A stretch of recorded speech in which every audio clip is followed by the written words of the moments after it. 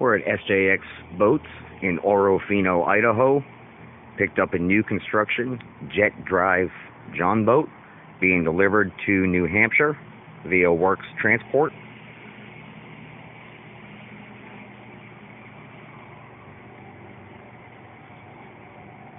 SJX Jet Drive Jon Boat, Orofino, Idaho to New Hampshire.